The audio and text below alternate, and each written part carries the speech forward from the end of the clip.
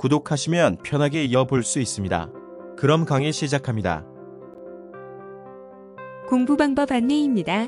한 번에 외우려고 노력하지 마세요. 그리고 많이 틀렸다고 포기하지 마세요. 처음에 60개 중 10개 맞추더라도 두 번째 볼 때는 더 많이 맞출 수 있어요.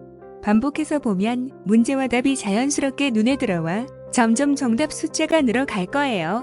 60개 중 40개 정도 맞출 때까지 반복해서 본다 생각하시면 되세요. 영화를 한번 보고 다음에 볼 때는 배우의 동작이 예측 가능하죠. 세 번째 볼 때는 대사도 떠오를 거예요. 같은 원리입니다. 시험이 몇 일 안 남았다면 기출 문제를 집중 공략해야 하는데요. 집중해서 풀어보세요. 문제가 나간 후 2초 이내에 풀어야 합니다. 모르거나 아리송한 문제는 과감히 넘어가세요. 반복해서 다시 풀어보면서 문제와 답을 암기하면 됩니다.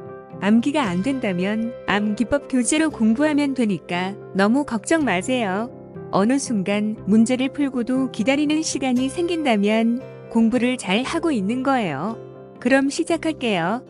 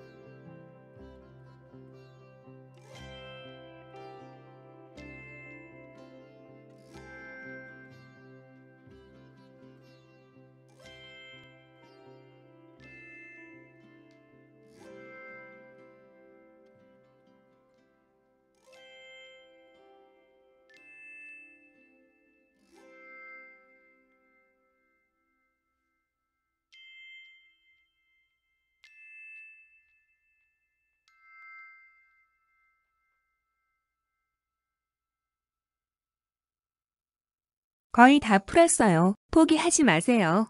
조금만 더 힘내요. 화이팅! 진행할게요.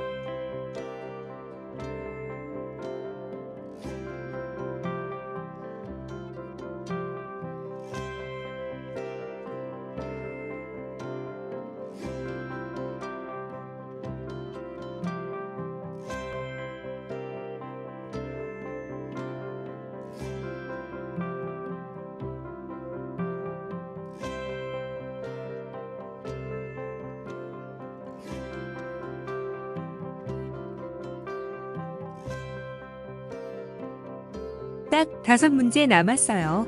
포기하면 안 돼요. 화이팅! 진행할게요.